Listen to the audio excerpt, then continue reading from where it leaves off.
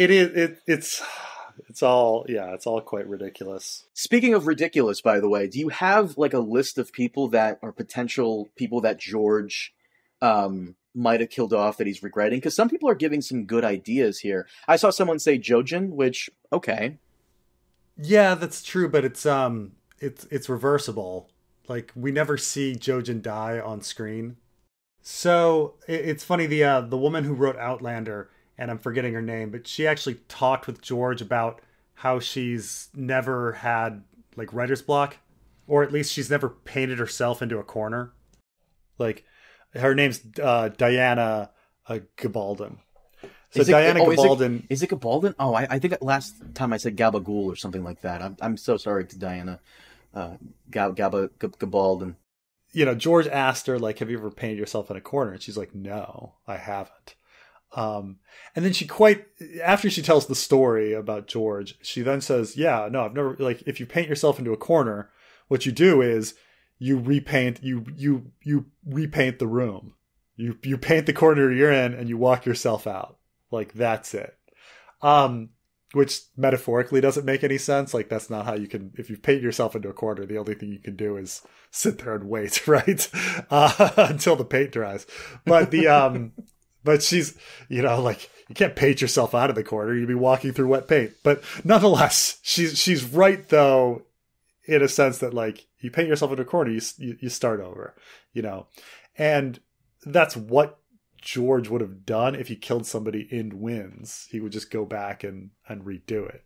Like so Jojen's death is ambiguous, which is why you can't can't really undo Jojen's death. I mean, even Kevan, like I mean, you, you like open the winds of winter, and Kevan's like, "It's only a flesh wound. I'm fine." like what? Or you open the winds of winter, Kevan's Jon. there, and it's a uh, the a, a Pate the Pig Boy situation in the Oldtown. Mm. Oh, that would be pretty. That would be pretty striking. Ah, dude, it? that I that was striking. so creepy. And, and what was it? It was the epilogue to Feast, right? Where uh, the, the yeah, yeah, La- Oh, yeah. this- Last chapter, tech. Yeah, Sam five. Yeah, so creepy. I love Last it though. Kevan, you're okay? We heard? Nah, it's fine. I'm, I'm good, guys. What's up? yeah, yeah. My my first read, I was just I was very confused because I didn't I did not my first read of Feast. I didn't realize that the alchemist was a faceless man. It's, it's not until like you finish the book and you're like. Wait a minute! like you just kind of because you're reading and you just kind of go, "Oh, this this creepy thing happened with an alchemist," and then and then you kind of move on. And you have the only way is to like you have to look, you have to actually like look at the physical description of the alchemist and then go back to the physical description of Jaqen at the end of at the end of in the middle of Clash.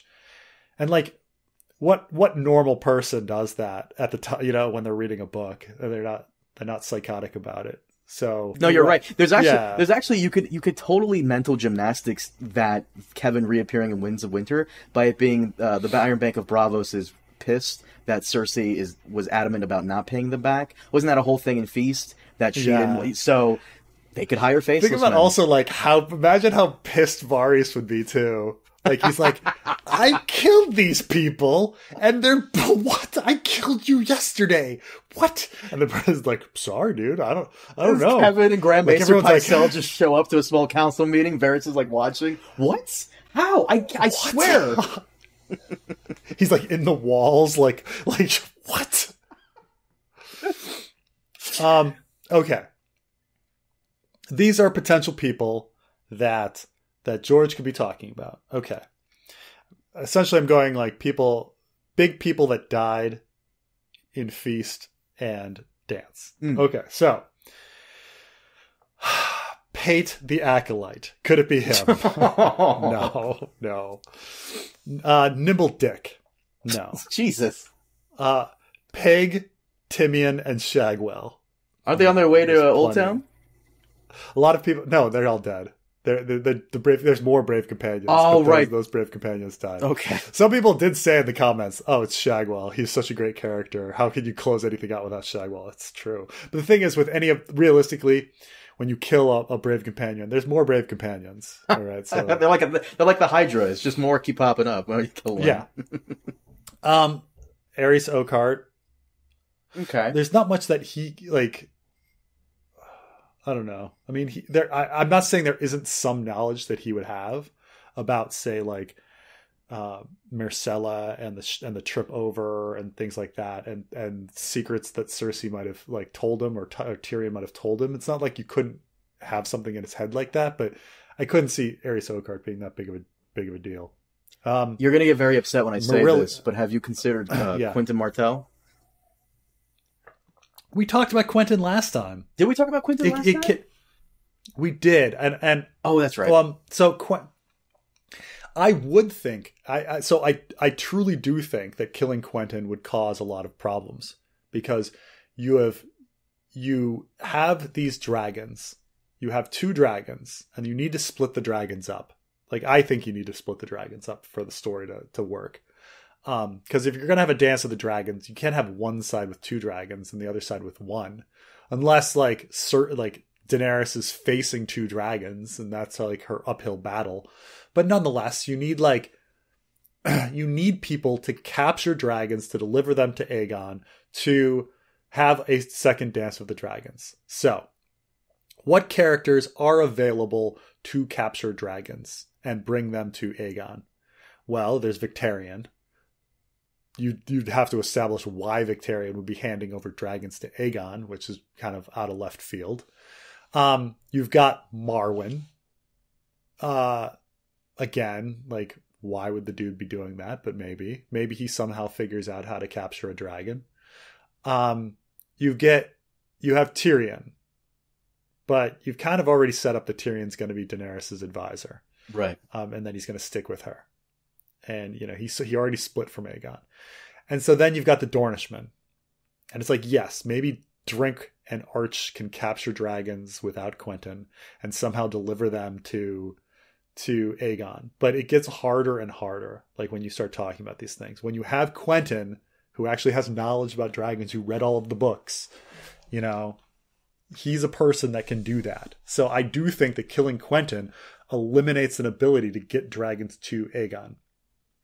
And so yeah, if you killed Quentyn, you'd want to you'd want to reverse it. Now, that said, it's so easy to reverse it because George left so many outs in A Dance with Dragons with Mm, Quentyn. Like he cut off like he he had a body that was unrecognizable. He cut off like what happened in in the pit twice, in in the pyramid twice. Like in the Quentyn chapter he ends it and then Orch starts talking about it and then they skip over it. So like maybe Quentyn's dead, but it's very reversible. Like I Mm. believe Jojen is dead.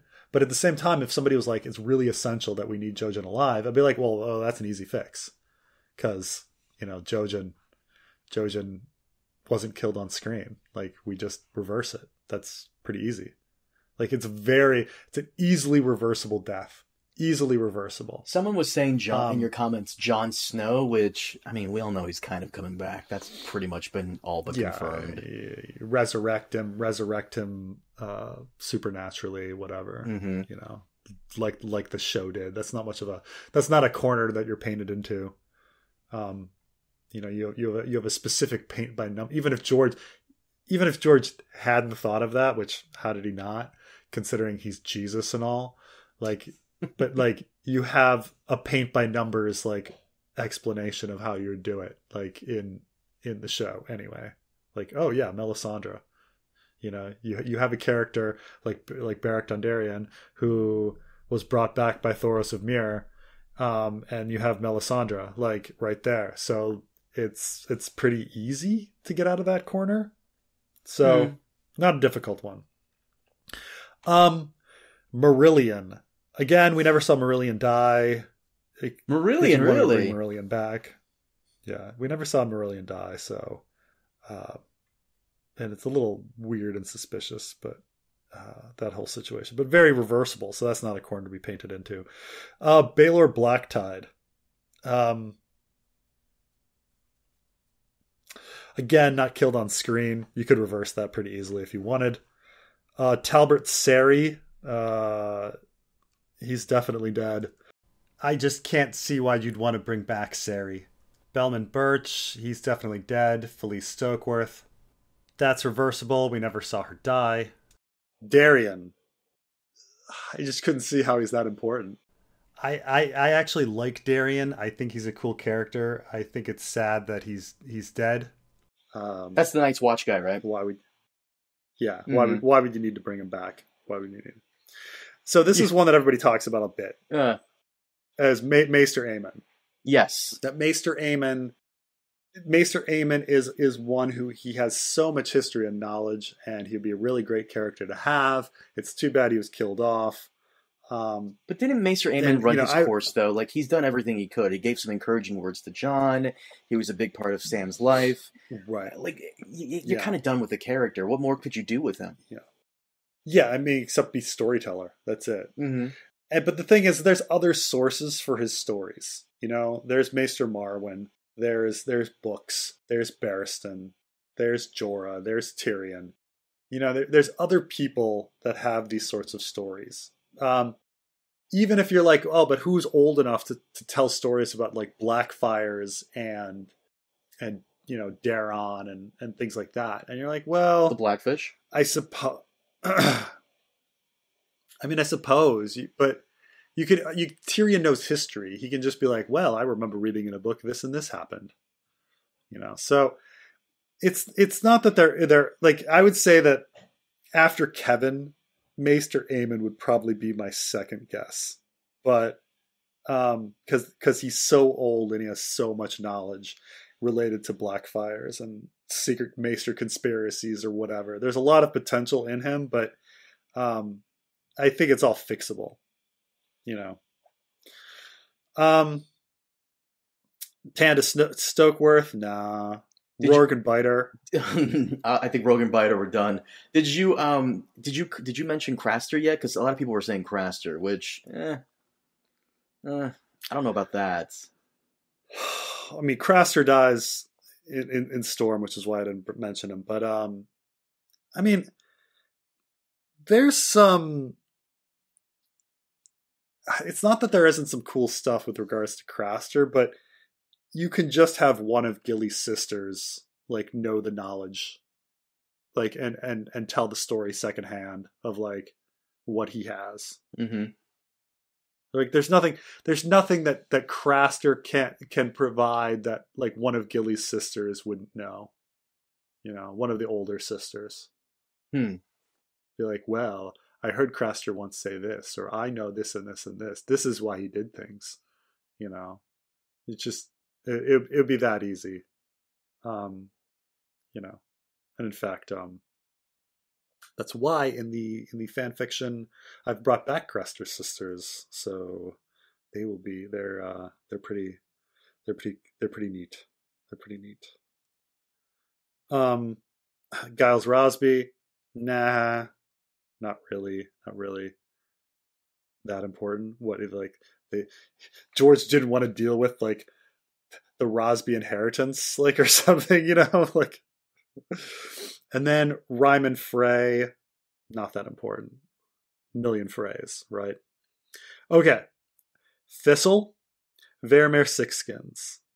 I mean, Varamyr Sixskins is a great is a great character, but um, I don't think there's anything that like he has that that somebody else couldn't tell a story of. Stalwart Shield, Hosea, Janos Slynt. I think a lot of people were were joking about. Janos Slynt, Um, please. so you see how I, I made a joke because people are like, "Oh, it's Janos Slynt," and I, you know, because he has important, he has so many important friends in King's Landing.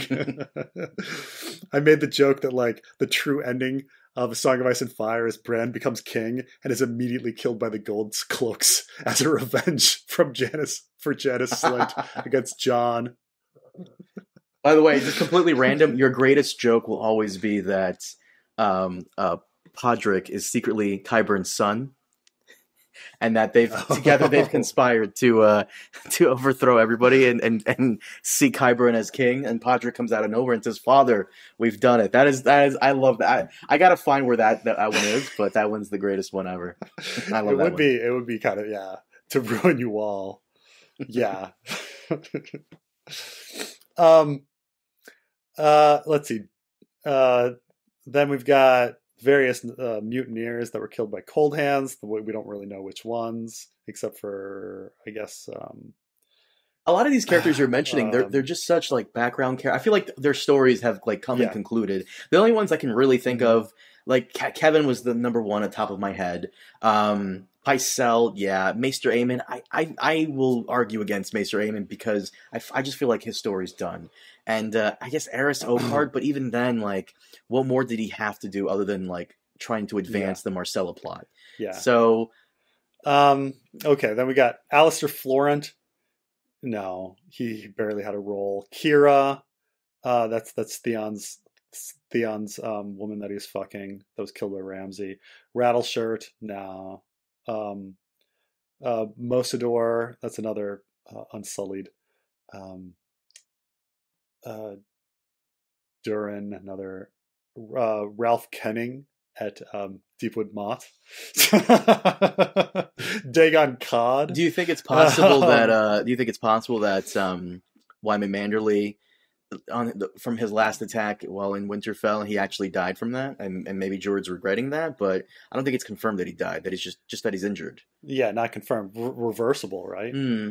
Um, yeah, Rolf, Rolf the dwarf, uh, Quenton Greyjoy, um, Oppo, Jack Bulwer, Harry Hal, uh, Garth Greyfeather, Greyfeather, um, the three Freys, Jared, Symond, and Rhaegar, who may be put into a pie, also reversible because we never see we never see them die. Um, Harwood Fell, no Ca- Yellow Dick. How about I give you Walder Frey? one character that um could possibly be very useful in the end and we saw him at the very end of Game of Thrones w- though he dies. Uh Beric Dondarrion.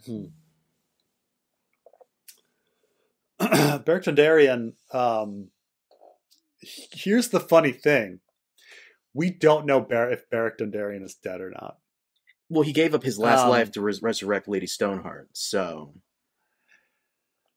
That's what that's what Thoros said. But if you look at the of the appendix of A Feast for Crows, he still has a band of people that are following him. Hmm. And so the question is, it's like, is somehow he not dead, or is Greenbeard or somebody else leading the other faction of the Brotherhood? But nonetheless, it's it's reversible, reversible again. You know, like because you could just say like, oh, I, I I got, you know, I thought I passed my kiss of life, and then I just stood up again and I was alive. Like, oh, really? okay. Like that's it. Like that's it. Um, Lutton, Holly, uh, Barsena Blackhair. She's a pit fighter that was ripped apart by a boar. Um, uh, this is it. Urkaz Zo Unkaz. He died uh, during during the uh, Daznak's pit. Um, Torwynd the Tame froze to death.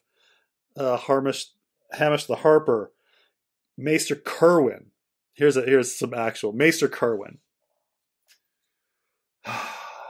I mean, I could see some use to Maester Kerwin.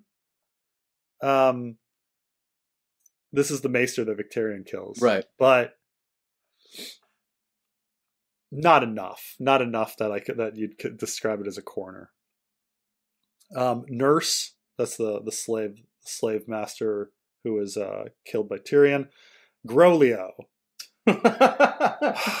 what about Sir Patrick? Who got Groleo. fucked up by uh He, he's coming. He's coming. He's coming. Oh, he's on the there. list. Groleo. Groleo's definitely dead. We see his head thrown in front of his tar. Stop it. Stop it. Um, we can reverse that's that. not that's not reversible. No, we can't. Groleo's dead. Bring I in. We can reverse it. I admit that Groleo would have some very important stories to tell about Illyrio and, and things like that, and like what he's hired for and stuff. But it's not anything that we can't get from Strong Belwas Okay. because the three of them came together: Groleo, Strong Belwas, and Barristan. And so, if Groleo has some secret that he needed to tell, Strong Belwas can can talk about it. Um, Yezzan, I don't think there's much that we need with Yezzan. Crom, Kraz, Rowan, Squirrel, Willow Witch Eye. Well, these are people. We, these are all reversible. The the the um, you know, Mance and the other um, spearwives are all reversible because we don't see it. Frenya Myrtle, then Sir Patrick, Also reversible because we never see it. Like it's an unrecognizable body. Could be anybody, but who cares about? He was Sir pounded Patrick? to the point where he was unrecognizable. I don't think that's reversible. No, it's reversible in the sense that it might have not been him. I'll take Jon Snow. Oh, of course. um, who of cou- you know Quentin, Pycelle. I mean, Pycelle's cool and all, but I kind of feel like another Maester can can uh can do anything Pycelle's doing. I'm not gonna lie. I kind of wanted Pycelle to be to stick around to the end. The oldest fucking character Yeah. next to Maester Aemon. Kind of wanted him to stick around to the end, just because. Yeah. I mean, it's kind of. I mean, I think that might be the role of Walder Frey. you Like think so? he's just like at the, yeah, the, the dude's never gonna die. Like everyone's expecting him to die, and there's these big succession disputes, and everyone's talking about who gets what and who gets, you know, when when with Walder, and and just like he never dies, and he's just ruling at the end. I you know, it does feel like everyone like keeps thinking about who's going to get the twins, and it's going to be this really important issue, and it's just it doesn't matter Like- because Walder's still alive. like with Sweet Robin, everyone's expecting Sweet Robin to die, but Harry the Heir is probably gonna Yeah. gonna gonna go. Yeah.